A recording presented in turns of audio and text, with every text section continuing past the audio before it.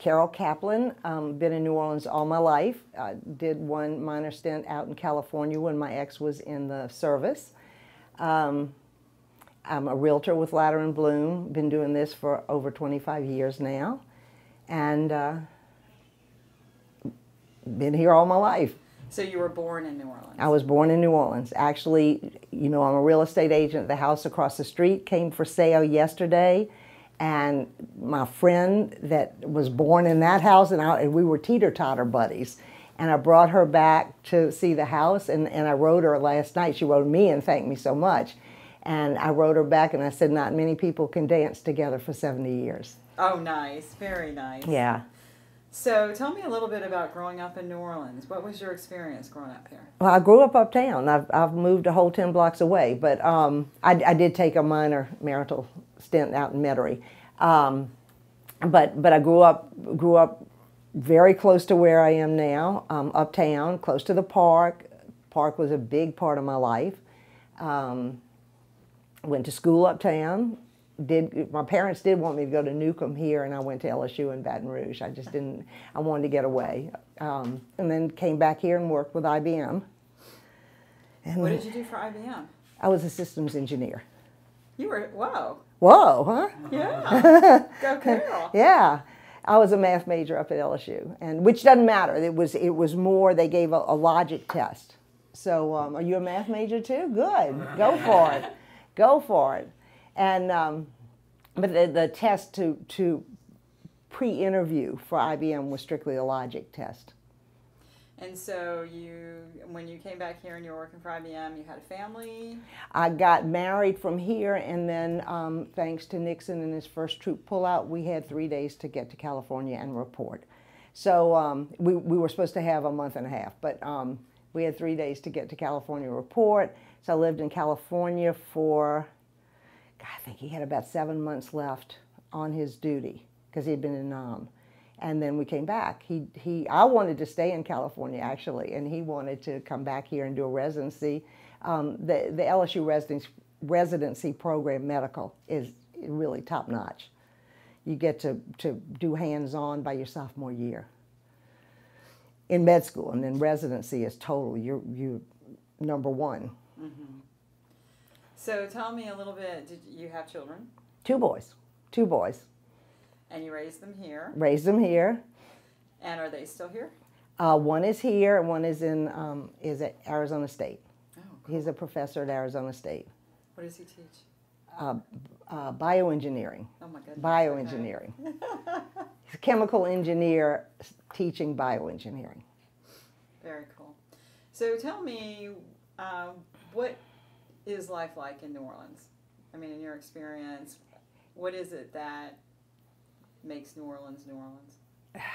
It's, it's, it's an intangible that makes New Orleans New Orleans. Um, I have a wonderful something that I got over the internet that I'll have to send you, but um, it, it's, it's a mixture of work and play. It's not that we don't work because we work very hard, but we play very hard too. And there's, um, there's a real congeniality here. Um, that's, that's where people come and visit and they stay. Uh, a lot of Marigny right now is Brooklyn, New York, that, that has come to stay. And um, it's, it's, it's just a community. So tell me a little bit, if you don't mind, about your experiences around Katrina. I was at the beach. My kid, I was in Alabama and uh, I, I mean, I I had gone for vacation, and I I had the condo for a week and a half, and my kids were in Destin, running um, a triathlon. My son runs the triathlon, and the rest of the, he has two kids, and his wife and two kids were over there. So we had a you know about five bathing suits between us, and I, I had four noodles with me and two beach chairs, and um, that's what that's what I had, and he got kicked out. Katrina started actually down around the bend in Florida. It was supposed to hit um, Apalachicola. So if you look at a map and want to point that out, it was supposed to hit Apalachicola. Well, with hurricanes, it just kept moving and moving. So Destin was the next place. My son got kicked out of his condo, so he called me, Mom, can we come over to yours? So, okay, I said, fine. So I went downstairs, I re upped for the rest of the week because I knew I could have it till Thursday. went downstairs, signed up. By the time I got back upstairs, big announcement all non owner tenants had to leave. And even though I was a guest of the owner, because I asked, they said, no, you have, to, you have to leave. So I called them and they said, well, what do we do now? I said, well, why don't you meet me at the Dairy Queen up in Foley, which was, was the highway exit. I said, I have to pack my car, and I know you were already in your car. Um, I said, I said, let's meet up at, at the Dairy Queen. So he said, he said, where are we going? And I said, why don't we go to Disney World? it had already passed there. You know, we had, we had the whole family, you know, three generations. And um, he, he's not quite as wild as I am. Uh, so, so he had already made plans to go visit the sister-in-law in Atlanta. So we went up there. And so, did you did you have any damage from Katrina? Yeah, he he's a doctor, the the son that's here, and he got in on a medical evac here, and I mean, the, the, the, people don't understand. You know, like we were at the beach, so we had nothing. We had literally nothing. His medical records were in his house. We don't know what happened to his house. His Louisiana medical records are in the basement on Camp Street, which we figure are flooded, which were.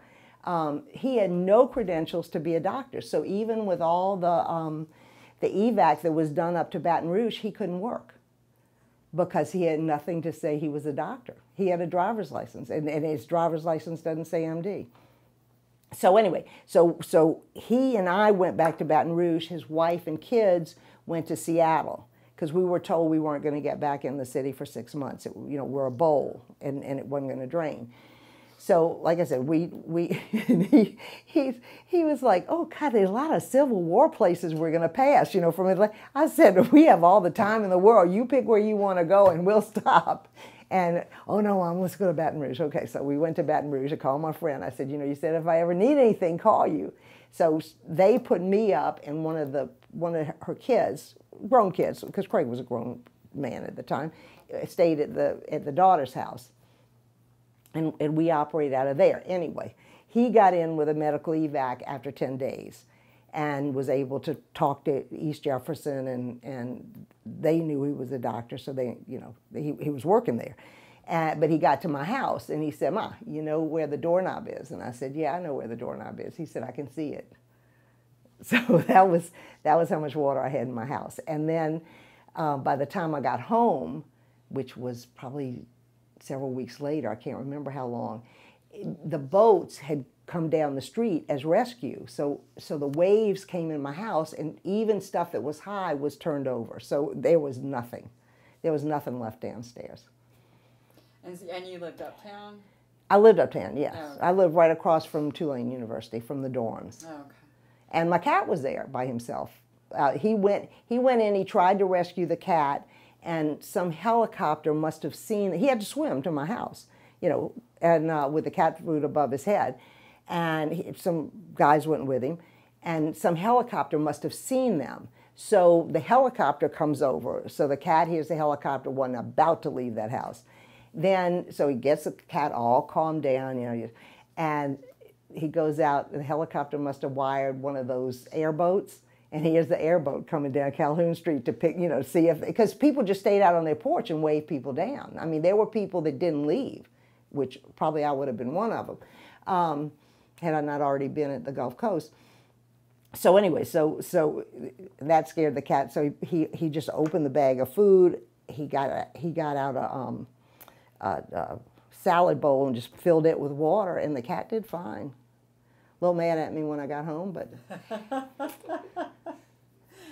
so, um, how long did it take you to get back home? He brought me in on some of his trips. Um, I want to say in the neighborhood of six weeks ish. And every time I came in, I just filled the back of the car with Clorox, not knowing that you had to um, dilute it. And I mean, I just, all downstairs, I just poured Clorox. And I did keep the mold down, so it, it worked. Good. Um, I didn't get. I, I, I was making trips back and forth from Baton Rouge. There was a seven o'clock curfew, so you had to be out of here. And when I tell you there was not a light, there was not a light. There was no potable water. I took a shower anyway. Um, I couldn't get back in my car the way I was because um, I've been working all day. Um, but but in in a, a, a black city with no stoplights, with no lights, where you used to some form of it. The the whole thing was an experience. Yeah. Did you consider not coming back? I I think I left my options open. I went to my my Arizona State son lives in in Scottsdale, so he was kind and I went out there twice. He football game. Um, one was the LSU football game that got moved, just like the South Carolina game got moved last week back here. Um, went out for that game, and then um, Craig and I, I guess went out for the Southern Cal game. So I had one kid dressed Southern Cal, one kid dressed Arizona State, and I just brought my LSU clothes back out there. And people were going, "We played you two weeks ago," and I said, "Yeah, I know. Just don't worry about it." But anyway, so I, my my Arizona son um, helped me look at condos out there, and I just I just got queasy. And then um, I went to camp for 10 years in North Carolina and have kept up with all those people. And I go to Carolina, I go to North Carolina in the mountains probably once a year. And so I went up there and I looked around and I was just like, oh, please God, let this, let, let this water subside. I'm going home. So, um, would you tell us a little bit about the neighborhoods in New Orleans? Lots of people know about New Orleans, but they don't actually know beyond the French Quarter or the Garden District. They've heard those areas and they think about that, and that's sort of the vision they have. But I remember when I was looking for, I came over from Lafayette looking for a house, and you mm-hmm. said, "Well, what do you like to do?" Yeah. That was the first question you asked me. Uh, you know when I And did I also tell you that that that I would drive you around and you were going to feel where you wanted to live? You did, and I would like you, if you would, to kind of explain those neighborhoods to people who might see your interview and get a sense of them. It's. I, I still say the same thing. You're going to feel where you want to live and I, I took a man who wanted, he taught at the university, and I took him around, and just as an example, and I showed him, I didn't tell him where I lived, showed him a house about three blocks up from me, and he looked at me and he said, Why would anybody want to live here? I said, Oh, okay, well, this in your neighborhood, is it? So it, it's, I live in a university area, I live with students, uh, I'm single, I can come home anytime of the night, and there are always kids out. I feel very comfortable. Um, a lot of people don't like the commotion of the kids. Uh, the, the, the sliver by the river, what they call the area that didn't flood, is, is, is a higher priced area, and the people there just, you know, really like it. Um, Gentilly, where you live, is definitely on the move, very much on the move. Um, a neighborly residential area. Uh, you know, a lot, some artsy. Um, of course, French Quarter, and then you behind the French Quarter is is Marigny, and and that's another artsy community. Behind there is Bywater, and a lot of lofts and condos there. A lot of Brooklyn has moved in. A lot of shotgun shotgun cottages are ones that that have a door and you could look straight through to the back door. Um, a lot of redone shotguns in the Bywater. Uh, the, the upper ninth and the lower ninth by the canal uh, got a big hit, a big hit. And unfortunately, there was a lot of um, contractor fraud there because people, we'll go into that later. Every neighborhood, the, the neighbors love each other and people don't want to move anywhere else. And it, it's really true. I remember mm-hmm. friends of mine who grew up here and always talked about where you at. Yeah, where you at? and where'd you go to high school? Um, and then in Gentilly, it was it was a whole different. It was making groceries. Yeah, yeah. Pass by. There was a lot of Cajun in Gentilly. How's your mom and them? How's your mom and them? Yeah. Um, a very different sort of. Just as you go through the neighborhoods, mm-hmm. it's always interesting. But it's very out outside friendly um, even even in this television gaming world, people still are outside a lot. Um, the city park area, oh my God, city park has just blossomed in that area, and, and, and all the young people congregate there. I'm, so, I'm talking about the 30s, 20s, 30, 40 professionals. So tell us a little bit about um, post Katrina Um, are there differences in New Orleans that you see pre and post Katrina? I am a hoarder. Um, I had a bunch of newspapers and magazines from before Katrina. And I would say about six years after the storm, I pulled them out and I'm looking at them and, you know, Joe Brown crossed the street. And we were just a real staid society, I guess to say. You know, everybody was, was in, in their own neighborhoods, but there was there was no thought about advancement too much. Not not not people or job advancement, but even doing anything culturally in the city. Now it's unbelievable. I mean, there we have blossomed. We have blossomed. We're a whole new world. Can you describe some, like two or three specific ways in which you think New Orleans has blossomed? What has been addressed? Ooh, everything's been addressed. Everything's been addressed. But um, we have more restaurants now than we had before the storm. Um, certainly, lots of cultural stuff. Uh, have we have the UNO Arena. You have the well, I'll call it the blender, but whatever, smoothie center. The smoothie center next to the dome. Then you have the dome for the really big events. A um, lot of smaller venues. Le Petit is blossoming. Uh, Broadway Across America is now in, in the redone Saenger Theater. Orpheum just opened for the symphony. Every, everything was at the Mahalia Jackson after the storm. And unfortunately, Municipal Auditorium has not been touched. Um, wonderful parks. I mean, we have Audubon Park, we have City Park, we have Lafreniere Park, we have um, Armstrong Park downtown. Jazz Fest is like unbelievably big. French Quarter Fest is free, and it's it's from Bourbon Street all the way on the levee, all the way on the levee. Audubon Institute now. Um, besides the zoo facility, which is all redone, they have the aquarium, which is on the levee and Ida Kohlmeyer sculptures are in front of the aquarium. It's, it's, it's beautiful. It's, it's a lot of pride, a lot of pride. Mm-hmm. Are there issues that you still see um, or issues that you think have developed as a result of Katrina?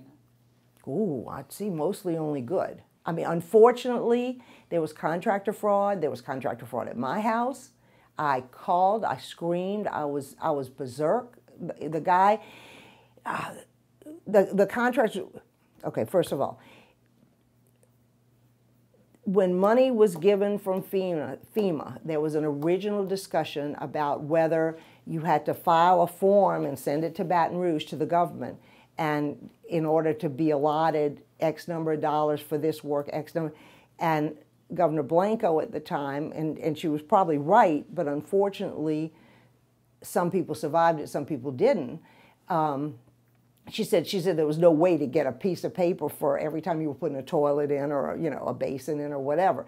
So so you had to pay your contractor on your own. Some people, and and these homes were passed down from from family to you know member to family member family, especially out out in in the ninth ward. Um, they had no idea working with a contractor. Contractor came and said, give me your FEMA money, I promise to fix your house. They were out of there. Took, took the check and ran. Um, same thing happened uptown. We just had a little more fortitude to fight it. Um, and it, it, was very frustrating. It, um, my contractor finally said, Carol, if you just go fix your house, don't worry about paying me anymore. You know, I brought him in, I said, look that way. And you could see my front door, it was carved crooked. And so the sun was just beaming in. But but they the, the contractors, the, the Hispanic workers in particular, would stand in front of the Home Depots and the Lowe's and contractors would go pick them up. They had they had no credentials at all. So that was that was and, and they are still around today working, but of course they're 10 years experience now. So we're very fortunate to have them. But originally they were just green. So are there perceptions you wish the general public to understand and or misperceptions you wish to mitigate about rebuilding New Orleans after? Yeah, I, I, I wish more were said about 80% of the city flooding. That, that the old city, if you take if you take the old city and draw it along the Mississippi, just just along the Mississippi, um, before we tried to recapture the swamp, the area that's right on the levee survived and didn't flood. 80% of the city, it didn't care whether you were black, white, Hispanic, whoever you were, it flooded. It flooded. And we all were in the same boat. We all were in the exact same boat. Um, so you, you see the pictures of more of the pictures of the ninth and, and, and, and, the, and the lower ninth.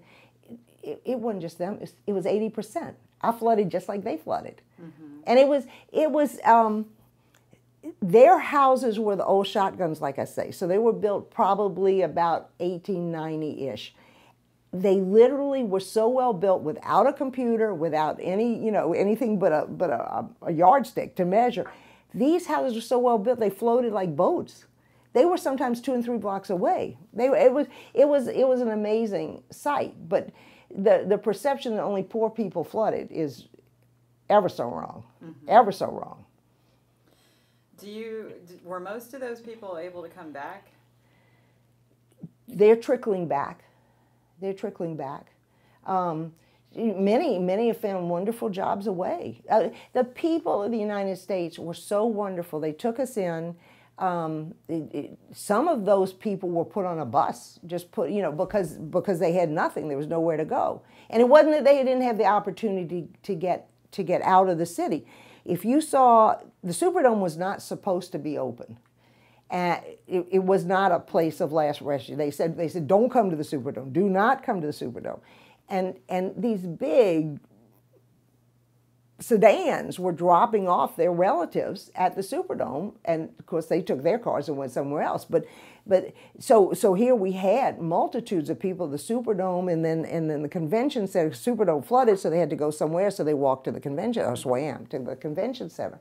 But um, but these these people had people in cars that dropped them off, and they were long gone. And of course, couldn't get back.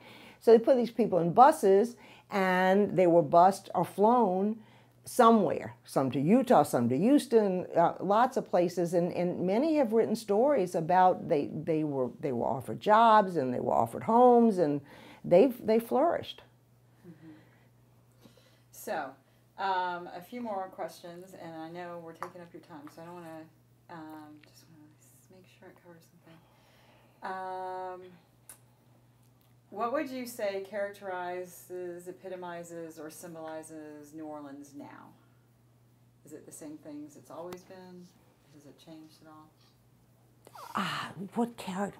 Well, of course, the Saints, because when we got back in the dome for that first game, it was it like the whole city pulled together. We're gonna make it.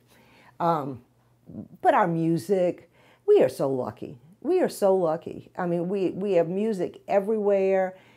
Of course, like I say, the Saints, and they brought in other teams, but I don't think any, any one team solidifies the city like the Saints. Um, if we win, everybody's happy for a week. If we lose, everybody's unhappy for a week. And so this isn't going to be real happy. Um, but, but anyway, that first game, because it took us a year. LSU, LSU, it took us I think, four weeks to play our first game in Tiger Stadium. And of course, those of us that are Tiger fans felt so at home. We played Tennessee. It was wonderful. Um, and Arizona State was wonderful to us. You know, they they hosted the game just like just like we did for South Carolina, but it wasn't the same being in Tiger Stadium. And they were using Baton Rouge. All the athletic facilities were being used for triage and helicopter landing. So so it, it was going to a much higher cause up there. Um, it took us a year to get back in the dome, and it was it was really a symbol of we're going to make it. And uh, I, I, would I would say that there's just a special joie de vivre in New mm-hmm. Orleans. Um, it's uh, you know whether it's whether it's the music or the amicability of, of people on the street. It's a good place. Alrighty, is there anything in particular you you just want to say? Is there something that you can think of that you would want people to know when they see your interview? Yeah, on the on the on the tenth anniversary on Facebook, I I thanked the nation because they came to our help. Mm-hmm. And, and I asked I asked my friends to share it so that more and more people and, and how appreciative we are to everybody in the nation. The people who came down here and worked. Oh my goodness, they came in multitudes from, from places and, and professional people came and work like dogs cleaning windowsills. It- just thank the nation.